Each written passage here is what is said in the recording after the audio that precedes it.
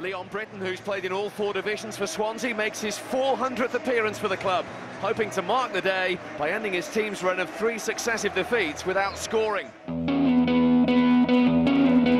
First team debut, Murray. Looking for Dobbie. Britton's joined the attack. Oh! What a way to finish the season.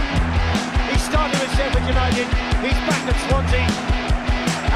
scored his first goal for them on his return. One touch, and the second was good enough. Only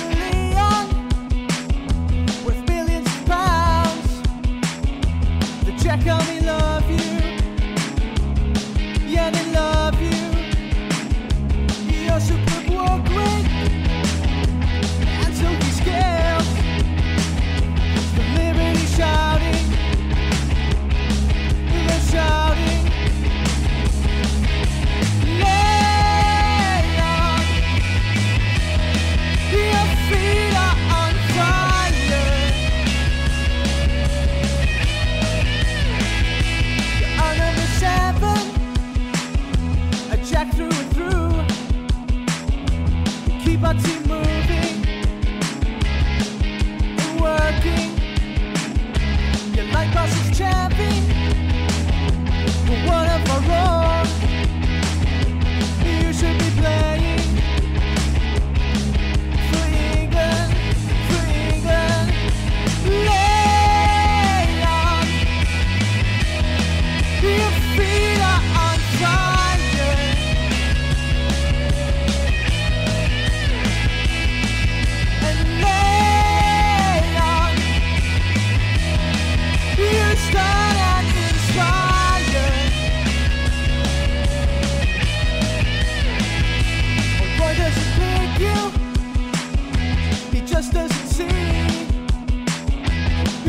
rising talent.